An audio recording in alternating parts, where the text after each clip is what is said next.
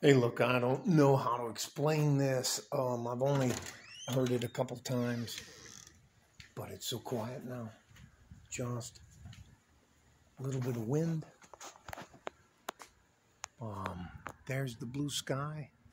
That's headed towards the uh, Franklin Mountains where it's still raining.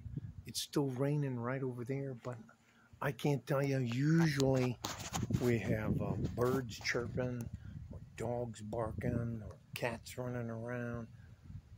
But there's nothing. It's just a little bit of wind. And I mean, it was like a. uh, going to whip out a big word now. All right. I, I did look this word up. So let me act like I have these words in my hip pocket. It was a cacophony of sound. Yeah, take that. Take that, YouTube. It's your boy making videos. It's just I mean, uh, what you'll hear in the background, you'll hear air conditioning units, or you'll hear. I mean, here's the other thing I don't hear cars, no more sirens. Oh, a little bit of thunder. I thought we were done. Hang on, I'm going to stay here. There's actually a blackbird sitting on the top of the roof over there, but a little bit of rumbling.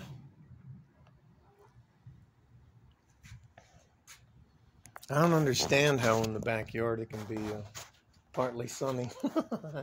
and I look at, look at the fucking pigeons on the top of the light lamppost over there trying to hide. Um, so, ah, wasn't scared. I was never scared. How dare you? Um, yeah. Well, the birds are coming back, so. From what I was told when I was young, um, here I'm going to give you an old Scottish uh, ism. All right. So if there's a coming storm and you can see the storm coming in, as a Scotsman, to protect your family home, you walk six paces out from the front of your house. You take a single bit axe and you slam it into the ground somewhere here in front of your house with the handle with the handle facing up like this towards the storm. And what it's called in from where I come from in Scotland it's called splitting the storm. So that means that you're acknowledging the God Thor and the rest of those people. Uh, and what it does, it's called, it splits a storm so it goes around your house. It, not, no lightning or anything crazy wind or anything or hail gets your house. They just call it splitting a storm. So uh, there it is. Wait a minute. I think this is like a PBS show now. Public broadcasting system.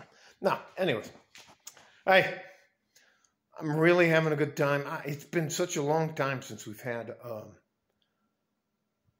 uh, for me, a storm is a new beginning, uh, cleaning out all the other clutter and all the rest of that stuff and giving you a fresh start. So, tomorrow will be a very good day for all of us. Um, I wish you the best. Stay safe and healthy. Take care of each other if you can. If you can't, take care of yourself. Like a fart in a G string from West Texas, El Paso. I'm out of here. Bye bye.